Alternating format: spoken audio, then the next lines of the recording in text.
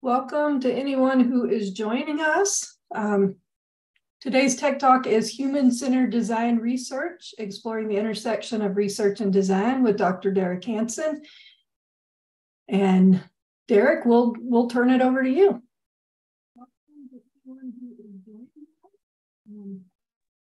All right, great. I'm happy to be here. Um, I joined the electrical and computer engineering department a year ago when the IT and cybersecurity program merged. And it's been a great year. And um, I'm thrilled to be with my new colleagues and uh, to have this opportunity to present.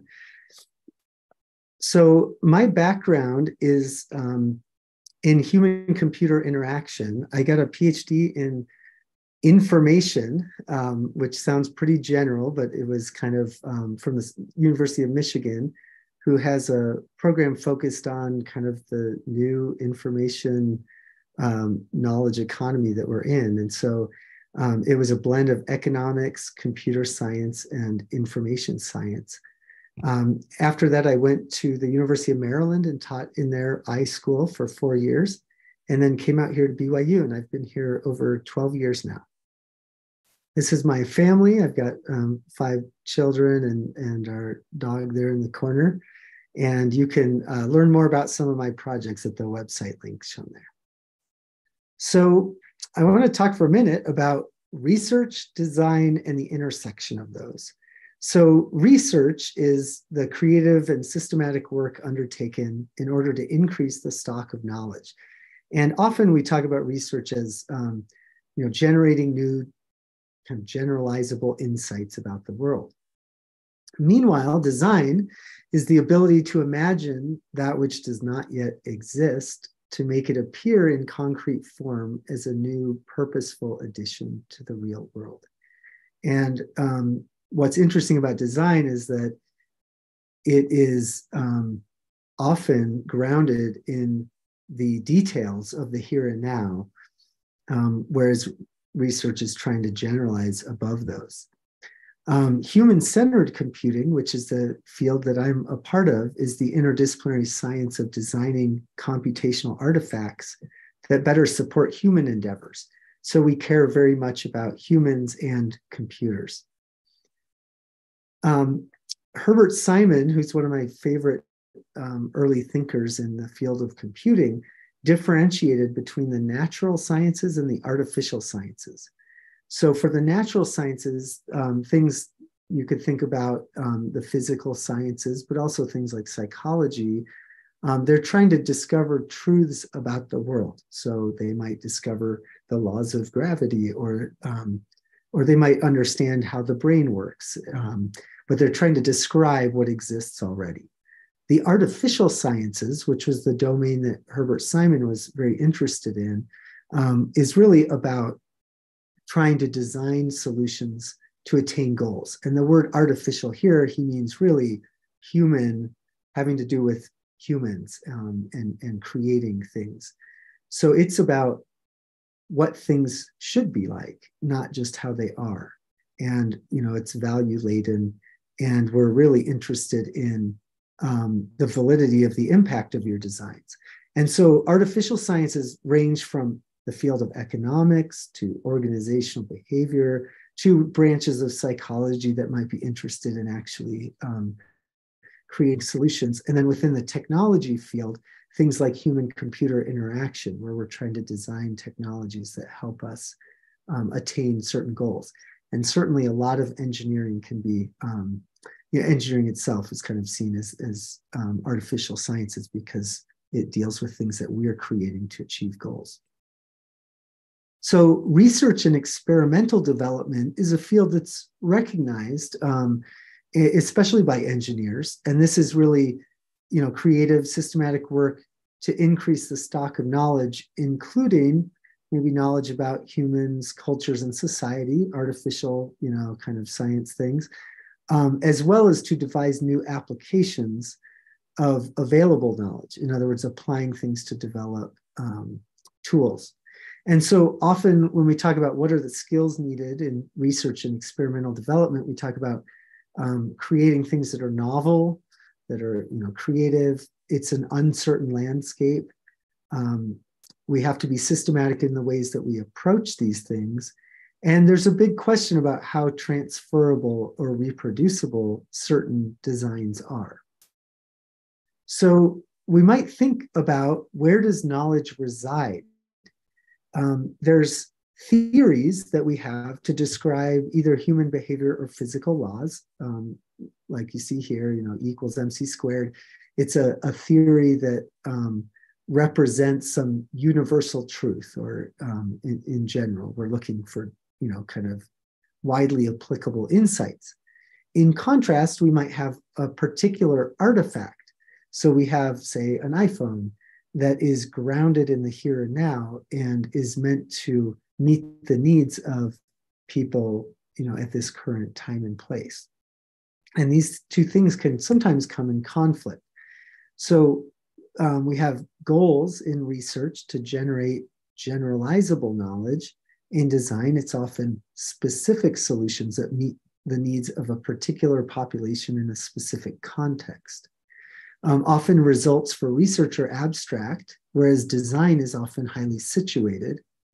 And then we think about research having long-term, you know, impacts in design. Sometimes um, has short-term impacts, and that's okay. And then with outcomes, we have theory versus some realization of um, concepts in the form of an artifact. Um, there's a nice book, The Design Way, that um, explores some of these um, kind of contradictions or um, you know concerns. And so this graphic captures some of the ideas here, where on the y-axis we have an increasing level of abstraction, um, and on the x-axis we have this um, level of complexity and, and as you um, can see here we have this graph where we might have you know universal theories that research is driving at on the upper left quadrant. And down in the right we have what is sometimes called by designers the ultimate particular which would be um, designs that meet the needs of the you know specific nuanced complex environment that you're in and there's research contributions to be made all along this continuum. Um, but I think it's useful to kind of think about where you are on the continuum if you're interested in performing research in these areas. So, what does human centered design research look like? Um, I'm going to go through three different kinds of approaches for the intersection of how research and design can interact. And so, this first one uh, we could think of with the keyword for here, research for design, or we might say research for designers. And in the graphic here, you could imagine some researchers that will come up with some key findings um, by using various methods that will inform designers so that designers can then create the artifact more, um, you know, in a better way and this is human centered focused because we're trying to you know create insights that will help designers. So um, often we mine research from other disciplines. So um, in particular in human centered computing we look at social science theories. So for example we might find some theories in social science about what motivates people.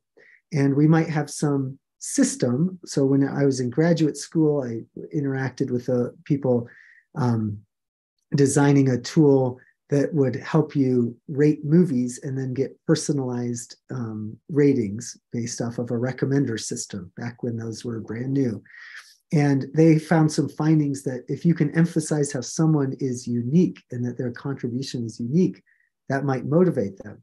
But other theories said, oh, you should, you know, motivate people by self-interest. And so you can tell them their ratings will improve if you do that. Uh, versus we really need you to do this because you're uniquely qualified based on the movies you've already seen. So you can sort of come up with competing um, theoretical frameworks for what might be useful in a given context, but then you know you present those in a way to designers that then they can implement these or run experiments that will help inform the design of the actual thing. So in this case, what they did was they ran studies where they sent different messages to different people, randomized. Some of them emphasized you know you're uniquely qualified to rate movies and it'll improve the system because of that and others if you rate more movies you'll get better results and then you can watch and see what happens and in this case the unique emphasis got more people to respond to it so that informs designers on how they can then improve their socio-technical system that they're designing in this case a movie recommendation engine um, so the point is here, you know, we can look at research for design. And I have some questions up at the top that are kind of key questions if you're doing this kind of research. So, you know, how can a theory be instantiated into um, artifacts? Or how can you present theory in ways to designers that's useful um, for them to actually inspire new artifacts? Um, what design methods might we, might we use or, or techniques? And an example of, I've, I've pulled up a few examples from my research that just kind of illustrate, you know, contributions in this space, and some are modest and some are maybe more significant. But um, this was some work that I did where we wanted to understand how you could develop um, educational simulations uh, that were related to municipal cybersecurity. So there's been a lot of different cybersecurity attacks on city infrastructure um, and government. And so we interviewed a bunch of experts. And so our research stage was really just a bunch of interviews with experts in this domain. And then we organized that material in ways that would be useful for designers of these simulations. So, for, for example, here we've identified the key learning outcomes, which we sort of synthesized from a bunch of interviews um, that people that do this kind of work every day um, uh, you know identified. We also had other things um, related to the situations you might want to model in these in these simulations. Uh, but again, the point here is we're doing research for designers. So the output of this research is supposed to help designers. Another example, for a few years, we had an NSF grant looking at designing what are called alternate reality games. These are games that play out in the real world. So you might get text messages from characters in an unfolding story, and these play out for years. So we actually got to work with NASA on a game called Dust, um, and with the Computer History Museum on a game called the Tessera. And we developed a framework, the uh, Maquette Education ARG design framework, that sort of describes and visually represents how you can integrate um, different components when you're designing these alternate reality games or other narrative based um, experiences with um, large groups of people that, that play educational games. And I won't get into the details of it, but the point is we did, we studied sort of how people design these things and we did some participatory design ourselves and then sort of looked at, okay, here's a framework that can help designers. So, a different way of approaching human centered computing would be instead of research for design, we might do research into design. And so here we see that we have the researchers who are studying how designers create artifacts. And then we have our research findings that um, you know describe that. And so we're looking at researchers um, or, or, rather, we're researching the processes and tools that designers use um, and the artifacts they create. So we might be asking questions like, what does this design space look like? Are there gaps in the design space? Or what practices do designers implement in this kind of space? So an example study that I haven't done, but I, you know, people are, are doing this kind of work.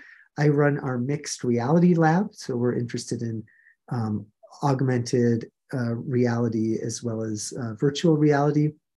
And people are starting now to do design work inside of VR, but we don't really know how well VR um, supports that kind of work.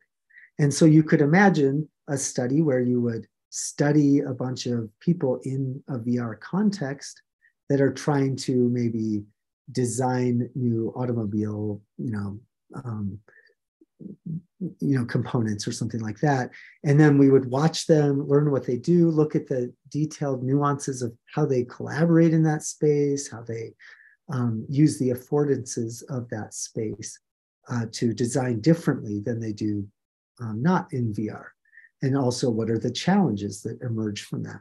So that would be an example of research into design. And then your findings will often inform designers, um, but maybe others as well, just um, about this design processes. So here's an example of some work that I did. I, I worked for years on a product called NodeXL, where um, we've designed and used and studied how people use this social networking tool. So the tool NodeXL lets you take data from social media sites like Twitter or now X um, or Facebook or um, YouTube, and you can import data and then look at the relationships between, say, people um, or user accounts rather on X and how, you know, people interact with each other or the interactions between videos and which ones are um, recommend other ones or similar or you know things like that so we studied how people used um, NodeXL and came up with a conceptual framework here that, or a process model that helps um, understand and capture how people do social network analysis work. And this then can help inspire new designs and new feature sets um, that require a deep understanding of how people perform social network analysis. Um, so, for example, here, the one of the key insights that we sort of capture in a paper and describe this is that um, network visualization and the metrics that you get from social network analysis, if you can closely couple those, then and let people play with these dynamically, then it allows them to analyze things in, in ways that are better than if you do those separately, which a lot of systems before NodeXL came along would do. It was like you could spit up a, a static visualization, but you couldn't, you know, dynamically interact with that in the metrics. But in this one, you could, and that led to new ways of interpreting data that were dynamic. But again, the example here is we're really doing, we're, we're studying researchers and we're doing design, you know, into research. Another example here, we didn't study people, we studied artifacts. So this was a study where we were interested in looking at games that motivated people to um, walk more. So these all had step counter um, data that they would use. And we were interested in exploring the design space of what exists. And so we actually did a little bit of network um, analysis where we, we connect different features. And so you can see these thick lines connecting challenges, competition, and social influence. That would mean there's a lot of apps that share all three of those um, characteristics or, or apps that share challenges and social influence and other apps that share competition and social influence. In the end we um, we've found those would be examples like i don't know fitbit where it's got this like you know challenge to you know who walks the most this weekend.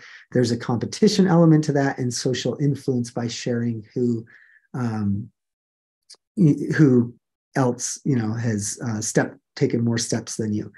In contrast you can notice like there's other kind of missing lines. So there's not many things where we have um, collaboration but a narrative or a plot we didn't really find um, games that did that and in this case we were interested in creating a game um, that would leverage that so the eureka trail is a game that we've worked on that um, sort of a mashup between the Oregon Trail and a competitive step count type thing. So you have to complete challenges, and as you do that, um, you survive the trek west. Um, so, in any event, this is an example again of a study of research artifacts that looks at the designs that have been completed and might inspire new designs or help us better understand the landscape. So, the final type of research that I could talk about is research through design. This is personally my favorite kind of research. Um, this is where the designers and the researchers sort of collaborate together. And there's different ways they might collaborate, but they actually work together to create artifacts, but to also document that process much more rigorously than you normally would. And then that um, can inform research.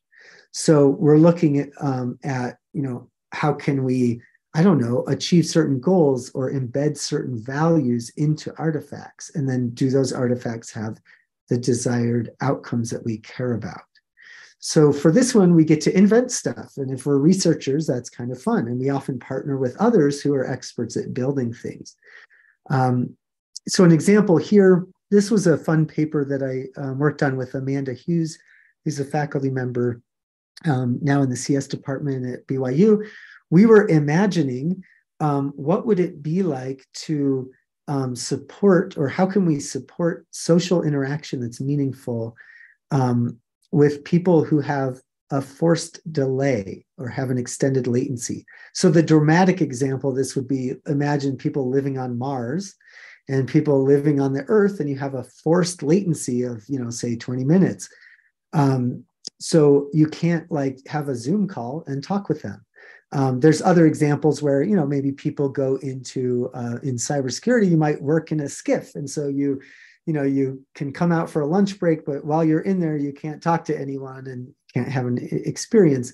Um, or maybe people that work out on you know in places where they have no reception and want to stay connected you know periodically um, when they can check in after some period of latency. So here um, we were interested what we did was we had a, a group of students and we brought in some other experts and we took a semester long class and we designed um, both a conceptual framework to think about this. So that would be research for designers, but we also did some design work. So we um, have a couple examples here. We, we using this framework, we came up with these little cards you can see in the picture, and that shows. Um, and, and then we gave people design tasks and challenges to try to do things. And then our team itself kind of pursued three ideas we really liked throughout the semester and designed just prototypes of them. We didn't have fully working systems. Um, one of them um, show, is shown in this kind of mobile app where it says do something. And the idea here is that you could um, you could both do something at the same time, even though you can't see the other person doing it at the same time. So, for example, we could um, say dance to the same song that we agree on ahead of time at the same moment. And then in 20 minutes, we get a video of both of us side by side dancing to the same song, um, which we were doing in real time at the same time. But of course, um, we didn't know that until we got that video, right? Um, or you might do things like layer activities where I would send maybe a guitar um, piece that I write to you, and then you could add another layer on top of that of the vocals, and you know go back and forth. So, um, and in any event, we came up with different kinds of um, designs that would let us do that. The other one here, this choose a trigger. The idea here is that I could sort of preset some messages so that if I'm on Mars, let's say, my wife is at home, she could open the fridge. And when she opens the fridge, then it might have an audio clip from me play something that says, Hey, have a good morning, um, you know, or, or, something like that. And we would imagine different triggers you could have. So those were um, just two of the, you know, kind of ideas that we had that came out of that paper. But again, we learned from actually designing. And this framework that we came up with was actually really informed by the challenges we were bumping into as we tried to design these things and the feedback we were getting. And then um, another example that's more recent, um, we there's a PhD student in mechanical engineering that I worked with a, a little bit, and he did his work on, um, and published this paper on microstructure design um, using a human computational game. And so the idea here is he developed this kind of interactive puzzle solving game in um, that had you move around these 3D kind of network diagrams that represented um, microstructures. And so he had some machine learning algorithms that could give you sort of local optimum, so you could get a little feedback when you moved things around. Um, but the system um, required some human input, and, and because of the visual way it was presented, you could often solve things better than just throwing an AI at it. And so um, it was kind of, a, a, again, an example of like it, a new invention that was a socio-technical invention, right? This like human and AI augmented system that could perform better than just the humans or just the AI alone. And so um, often in this kind of work, we're inventing new things that sort of combine people and humans as they do things and studying like look now this is a new possible way of um, optimizing. And i've done a lot of work in this area. A lot of it you know has to do with games which are kind of fun or mobile apps. I t- tend to try to do things that relate to some sort of real world impact that might improve people's lives. And so uh, most of the games i've done have been educational games. So the tessera we have these inventor cards that we made but then there was a whole online thing that ran in 2017 and, and escape the museum exhibit at the computer history museum um, where we were interested in exploring some of these new techniques that could be used for educational purposes, where we sort of blend the real world into the fictional world. Um, Dust was a similar one where we had um, students that would pretend like, um, well, we had this narrative that this asteroid came um, from outer space and had some microbes that sort of spread around the world, and all the adults collapsed, and the teenagers had to rise up and solve problems. So even though the narrative was sort of fanciful, the actual tasks that we had them doing were quite realistic. So they would use a mobile scanner to collect microbes. So that was a little fictional. But once they collected those, they could perform experiments on them. And they we had an online system where they could like increase the salinity or the um, temperature of different things and find out what conditions this alien microbe would survive in or not.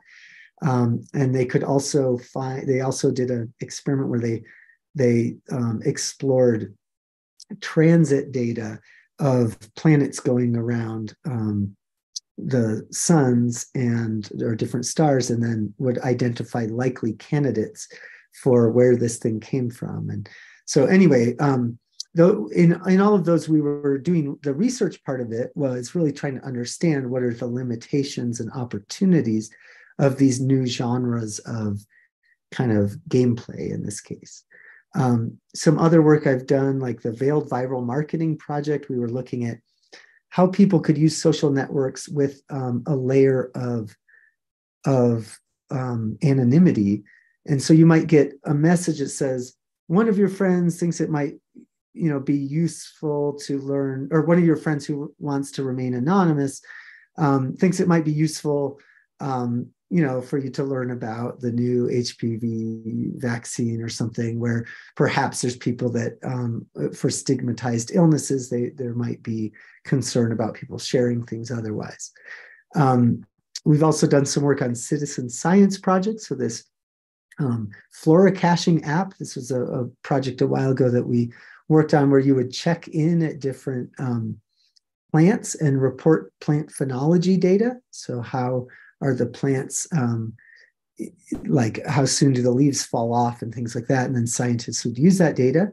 In our case uh, we were interested in um, we did some work on how can you prototype location based games and apps. Back this was back before things like pokemon go had come out.